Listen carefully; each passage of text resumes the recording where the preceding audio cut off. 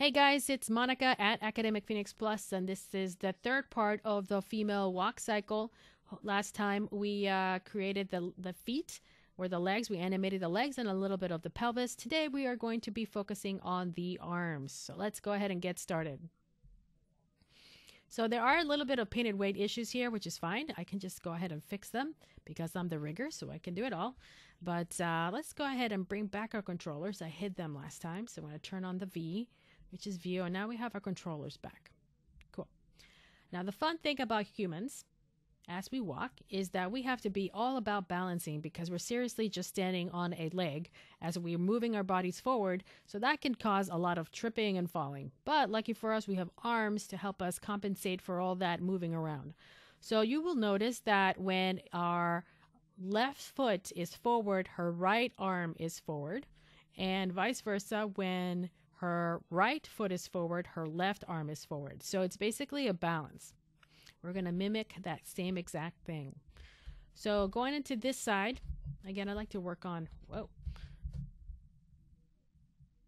on a view. My character's right arm is forward, and this is under 75. So I'm actually going to take this and actually maybe the front view might be better. I'm going to bring her arm down and then I'm going to bring it forward. Now humans are interesting. You'll notice that she actually, we try to keep our arm as close as possible to our body, and then we actually kind of go around and, and look where her arm is. It actually ends up behind her. So not only does it become forward, it goes around the body and then behind. So we're going to do something very similar. So I'm going to take her pelvis. I'm just going to kind of rotate her forward so she looks like she's got forward momentum and hit S again. And because this is a cartoon, let's not forget it's an animation, we can always just kind of exaggerate something. So I'm going to take this and just kind of go down her arm and just kind of place her arm like so. Just a little bit. And because her arms look like her fingers are so like straight, I'm going to just kind of relax them a little bit. And uh, by relaxing them, I mean I take like the point finger, just kind of curl them just a little bit same thing with the middle. Just curl them a little bit so they look a little bit more instead of like being clamped together.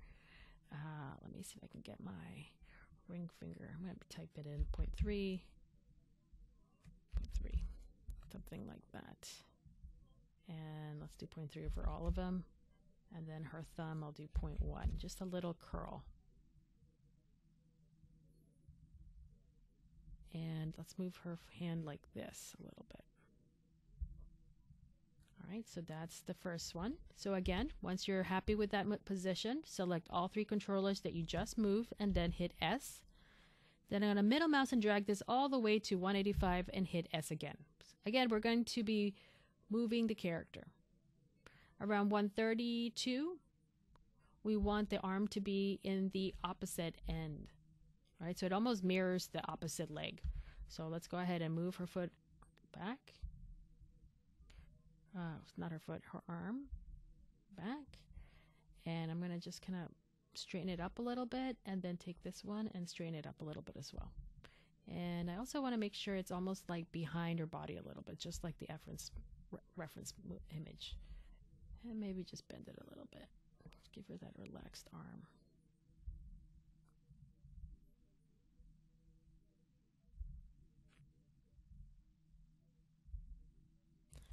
Hit S. Don't forget to grab all of them. Just want to confirm I grabbed all three and then hit S.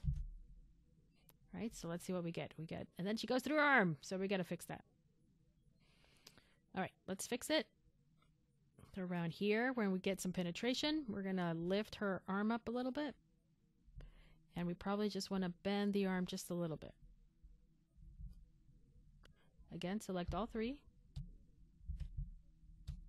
and hit S. So we got whoop and goes around. And vice versa around here. Just want to make sure it's lifted a little bit. We don't want to have any type of penetration. Hit S, maybe all three of them. This can lift a little bit.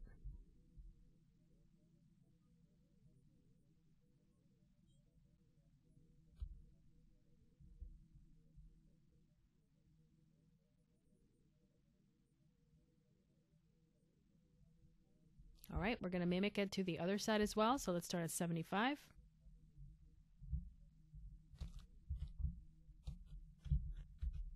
I just want to remind everybody that I'm not really an animator. Um, I just do enough to get myself into trouble. So I can just do the basics. Um, just make sure this is bent a little bit. And then, of course, her fingers. So just kind of keep that in mind that uh, I like, I'm more of a technical artist, I would call myself. Um, I try to um, avoid an animation I mean, I, I there's a lot of people that really just love to do animation, so I don't want to take away from that. Uh, but you know, I just want to kind of demonstrate that you can basically do some stuff too. So you know, you're not limited. Okay, so I keyframed it on 75 and all the way to 185. Let's go to 132. We're gonna do the same thing. We're gonna repeat what we did. You could you could actually grab the values like you did before, but I'm gonna eyeball it because it's kind of more fun if you just eyeball the uh, twist this a little bit like that and then click S. Then around one, around here, I'm gonna lift that shoulder up. And then, wow, so scary. We're gonna go ahead and move it out of the way as well. And maybe rotate this. So again, hit all three and S. Make sure I did that for everything. So here I didn't. Okay, I'm going to click on this one and then this one. Okay.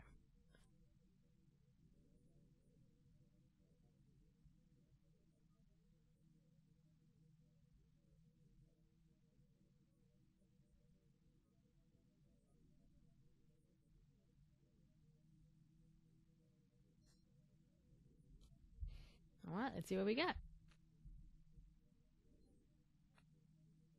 Cool. She's moving.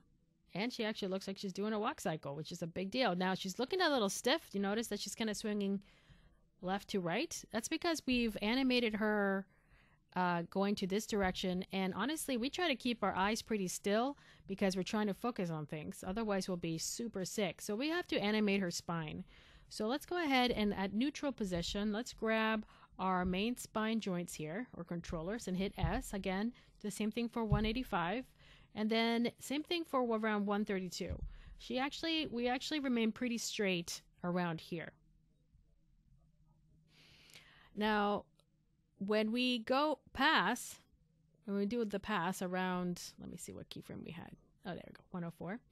We kind of bend her a little bit. So that means that we want to make sure that her whole body basically um, straightens up a little bit. So I'm taking basically every joint, everything from the spine, and just kind of lifting her up a little bit and rotating it so she's actually straight. So once I have all those, I can go ahead and select these guys and hit S. So now what we have is anytime she moves up, her body's already rotating to compensate for it, and then she lands, and then we have to do this. So it's better than this, right? She's actually like leaning. That doesn't look very natural, but this actually looks very natural. All right, not this part. All right, let's go ahead and fix this. So around, let's see, what frame do we want? This one? We're to do the same thing. I want to grab these guys. Maybe I can just rotate her right off the bat.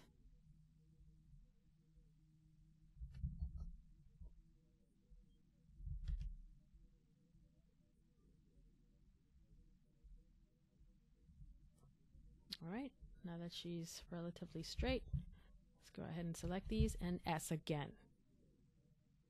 Now, unfortunately, might have done her arms too soon, so you can see that her arms are swinging out too far, which is okay because I can comp compensate for that. So I can just go ahead and bring her arms in. I can grab the uh, other one that's penetrating her geometry and bring them out. Bring it closer to the keyframe. I don't need extra keyframes. I might need to just rotate her arms a little bit like this. Make sure everything's keyframed. And then, all right, so you see there's a pop. That means I put two keyframes together really close. So I need to delete one. So select one, right click, delete, and thank goodness I picked the right one. So let me just make sure how that's going. So you see how she's swinging really far on this arm again on the left, my left, her right. I do the same thing. I take this and just bring it in a little bit. Probably want to relax her arm a little bit like so. Make sure there's no penetration. Again, make sure you select all your keyframes.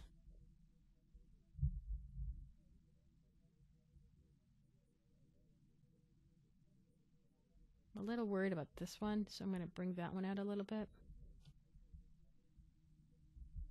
S.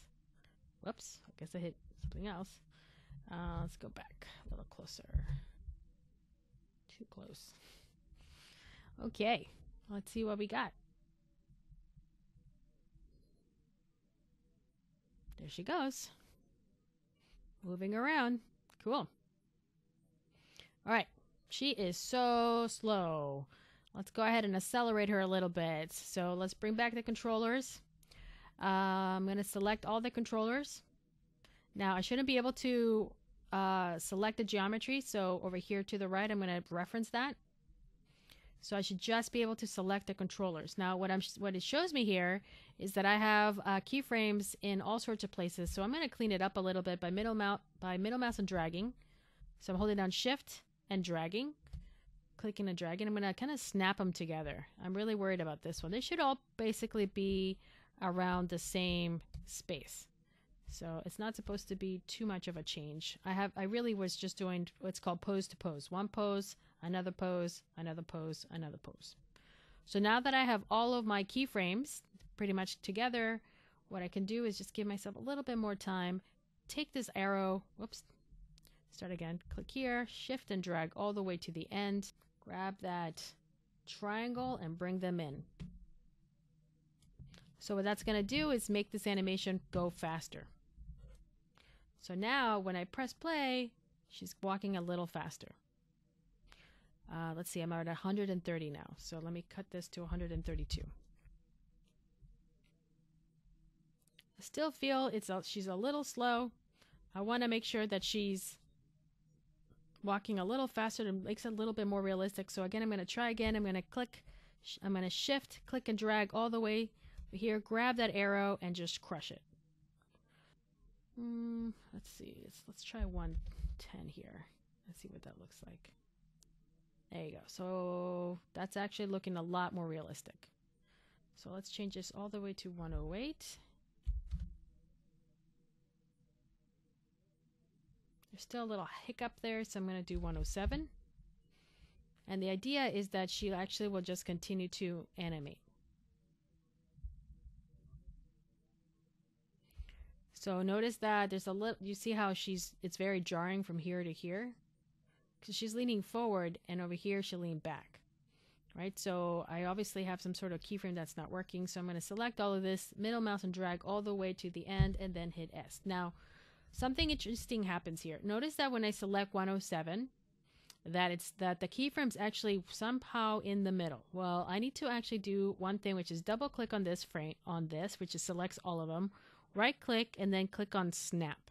And what snap does is that it will take the nearest keyframe. So instead of being at 107.5, it actually will snap it to 107. So now it's nice and even. So now I can actually select all of these, grab 75, middle mouse and drag to 107 and hit S so that my animation starts and ends in the exact same thing. All right, so she's moving forward, she's leaning back. I actually want her to move forward as well, so I'm going to rotate her forward.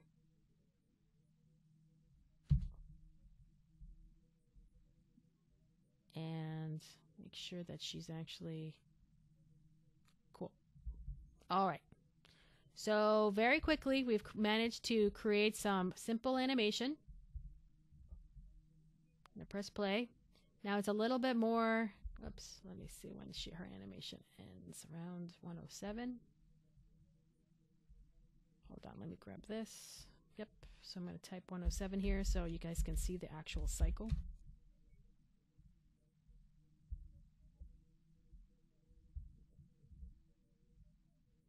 And I'm going to go to 106 just so you can really see the walk cycle. There you go. Nice and smooth.